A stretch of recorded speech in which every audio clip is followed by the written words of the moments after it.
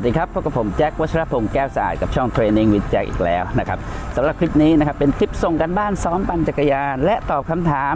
จากทางบ้านเป็นคลิปทวินวันนะครับผมโอเคคำถามจากทางบ้านวันนี้นะครับก็คือว่ารถจักรยานนะครับหนัก 11 โลกับหนัก 8 โลครึ่งเนี่ยมันต่างกันยังไงนะครับผมโอเค เดี๋ยวผมจะมาตอบคำถามอันนี้นะครับ แต่ว่าก่อนอื่นเนี่ยจะมาดูการซ้อมของวันนี้ก่อนนะครับ การซ้อมของวันนี้นะครับก็เป็น โปรแกรมซ้อมนักแข่งหน้าใหม่นะครับ สัปดาห์ที่ 5 วันพุธนะครับผมโอเค รายละเอียดการซ้อมเนี่ยมันเหมือนกับสัปดาห์ที่ 3 วันอังคารนะครับ มันเหมือนกันนะครับอ่าเดี๋ยวผมแปะลิงก์เอาไว้ให้ตรงนี้นะครับ สามารถคลิกเข้าไปดูได้นะครับผมแต่นะครับมันมีความพิเศษอย่างหนึ่งของวันนี้นะครับ คือปกติแล้วนะครับ เราจะซ้อมเนี่ยเราจะหยุดนะครับวันพุธนะครับ แล้วก็มาซ้อมใหม่วันพฤหัสแต่ว่าคราวนี้สัปดาห์นี้นะครับ เราซ้อมอังคารพุธติดกันนะครับอ่า แล้วไปหยุดพฤหัสศุกร์นะครับอ่าไม่ใช่ว่าผมใส่โปรแกรมผิดนะครับก็คือว่าเอ๊ะทำไมเป็นแบบนี้นะครับก็เพื่อว่าไม่ให้ร่างกายเนี่ยมันจำรูปแบบการซ้อมนะครับ ไม่งั้นเนี่ยเราจะกลายเป็นซ้อมอ่าอังคารพฤหัสเสาร์อาทิตย์อังคารพฤหัสเสาร์อาทิตย์นะครับเพราะฉะนั้นเนี่ยร่างกายมันชินนะครับผมคราวนี้เนี่ยเราก็เลยต้องมีการเปลี่ยนรูปแบบบ้างนะครับ เป็นอังคารพุธแล้วก็เสาร์อาทิตย์นะอะไรอย่างนี้นะครับ ก็คือว่า ให้ร่างกายเนี่ยจริง ๆ แล้วคือจะต้องแบบว่าแข็งแรงตลอดไม่ใช่แข็งแรงแบบเว้นวันอะไรอย่างนี้นะครับเพราะนั้นเนี่ยต้องให้ร่างกายชินนะครับ อันนี้คือหลักการในการวางโปรแกรมซ้อมนะครับผมอีกอย่างหนึ่งนะครับก็คือว่าในการซ้อมนะครับก็คือหลักการก็คือเวลามีเวลาน้อยนะครับ เราก็ต้องซ้อมให้มันหนักเข้าไว้นะครับ เพื่อว่าสามารถสร้างความแข็งแรงได้คล้ายๆ กับการปั่นเอนดูรานยาวๆนะครับคล้ายๆนะครับแต่ไม่เหมือนนะครับผมเดี๋ยวเราไปดูบรรยากาศช่วงทำเซตเลยครับผม Bye.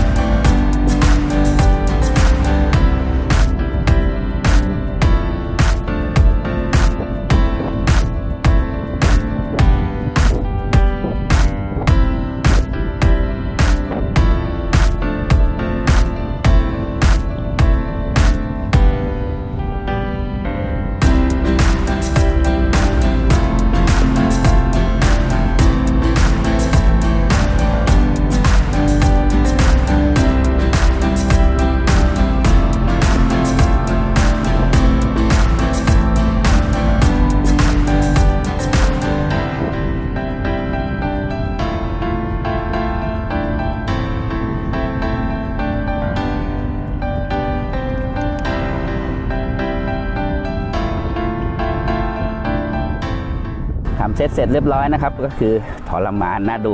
เช่นเดิมนะครับผมและคราวนี้เรามาตอบคำถามนะครับ ที่ว่า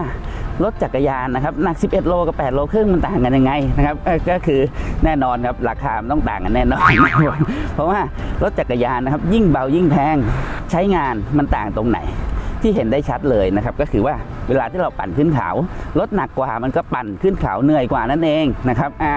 แต่คราวนี้เนี่ย เร็วกว่าหรือเปล่าไม่รู้นะครับ เพราะว่าถ้าคุณเป็นคนที่คุณไปปั่นด้วยใช้รถเบาแต่เขาไม่ค่อยเก่งนะครับอ่าคุณก็อาจจะปั่นเร็วกว่าเขาก็ได้ เพราะนั้นเนี่ยไอตัวเนี้ยมันไม่ใช่ตัวชี้วัดนะครับ แต่เหนื่อยนะเหนื่อยแน่นอนนะครับเหนื่อยแน่นอนนะโดยเฉพาะยิ่งอย่างยิ่งนะเวลาไปเจอแบบว่าทาง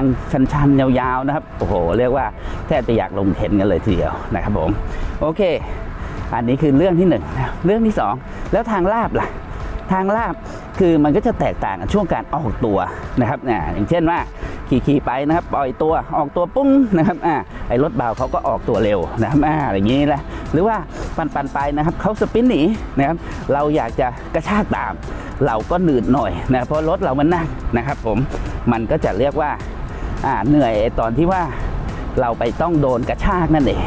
เวลาเราเจอเขาเร่งเร่งผ่อนผ่อนเร่งเร่งผ่อนผ่อนนะครับเราจะเร่ง ผ่อนผ่อนจนหมดแรงเพราะว่ามันเมื่อยมันเหนื่อยนะครับรถเรามันหนักอ่าอย่างนี้นะครับ ก็คือนี่คือข้อแตกต่าง แล้วถ้าถามว่าถ้าเป็นทางลาดถ้าเป็นแบบขี่เรื่อยๆนะครับความเร็วนิ่งๆ อันนี้ไม่เป็นไรนะครับเพราะว่ารถหนักเนี่ยเผลอๆดีด้วยนะเพราะว่ามันมีแรงเฉื่อยนะเขาเรียกว่าไม่ต้องเติมเยอะอ่าไม่ต้องเติมเยอะ เพราะว่ารถมันไหลไปเรื่อยตามน้ำหนักของมันนะครับแต่อย่างว่านะครับถ้าเจอแบบ ต้องเร่งต้องกระชากนะครับ อันนี้ก็เหนื่อยเหมือนสรุปนะครับ อันนี้ก็คือข้อแตกต่างนะครับว่ารถหนักรถเบามันต่างกันยังไงนะครับอ่าแล้วก็แถมนิดหนึ่งนะครับก็คืออ่ามีคำถามมาอีกนะว่าเอ๊ะจะเอาล้ออลูเบาๆหรือว่าไปคาร์บอนดีนะครับถ้าเป็นผมนะครับ ผมจะไปจบที่คาร์บอนเลย เพราะว่าถ้าล้อคาร์บอนเนี่ยมันเบานะครับ เดี๋ยวนี้เนี่ยมีประสิทธิภาพดีนะครับ แล้วก็อ่าในเรื่องการบ่งการเบรกอะไรนะครับ มันก็เรียกว่าไว้ใจได้มากกว่าสมัยก่อนเยอะนะครับ เพราะนั้นเนี่ย คือถ้าอยากจบนะครับก็คือล้อคาร์บอนนะครับ เพราะว่าล้อลูนะครับขอบต่ำเบาจริงครับ แต่ว่าเวลามาใช้ทางลาบเนี่ยเหนื่อย แต่ถ้าเป็นคาร์บอนนะครับขอบปานกลางนะครับ ใช้ลาบก็ได้เข่าก็ได้ เรียกว่าล้อเดียวเที่ยวทั่วไทยว่างั้นนะครับโอเคนะครับ ก็เป็นคร่าวๆนะครับ เกี่ยวกับเรื่องคำถามจากทางบ้านนะครับผมและถ้าเพื่อนๆมีคำถามเพิ่มเติมนะครับ สามารถทิ้งเอาไว้ได้ในคอมเมนต์ได้เลยนะครับผมโอเค หวังว่าเพื่อนๆจะได้รับประโยชน์จากคลิปนี้บ้างไม่มากก็น้อยนะครับถ้าผมผิดพลาดประการใดขออภัยไว้ณที่นี้ด้วยนะครับถ้าเพื่อนๆต้องการจะดูแลรักษาจักรยานนะครับคือสามารถอุดหนุนผลิตภัณฑ์ดูแลรักษาจักรยานที่ยี่ห้อ Motip นะครับไม่ว่าจะเป็นสเปรย์ล้างโซ่น้ำมันหยอดโซ่สเปรย์หล่อลื่นโซ่นะครับอ่าเดี๋ยวนี้มีสูตรเซรามิกด้วยนะครับลื่นปื๊ดสุดยอดเลยครับผมอ่าสามารถซื้อได้ที่ร้าน Training with Jack นะครับร้านเรามีทั้งใน Shopee และในลาซาด้านะครับผมอ่าผมใส่ลิงก์เอาไว้ให้ในคำบรรยายของคลิปนี้แล้วนะครับโอเค แล้วถ้าเพื่อนๆท่านไหนเพิ่งเข้ามาเจอช่อง Training with Jack นะครับรบกวนฝากกดไลค์กดแชร์กด subscribe กดสั่นกระดิ่งเอาไว้ด้วยนะครับ เวลามีคลิปใหม่ๆ เราจะได้ติดตามได้อย่างทันทีสำหรับคลิปนี้เท่านี้แล้วพบกันใหม่คลิปหน้า สวัสดีครับ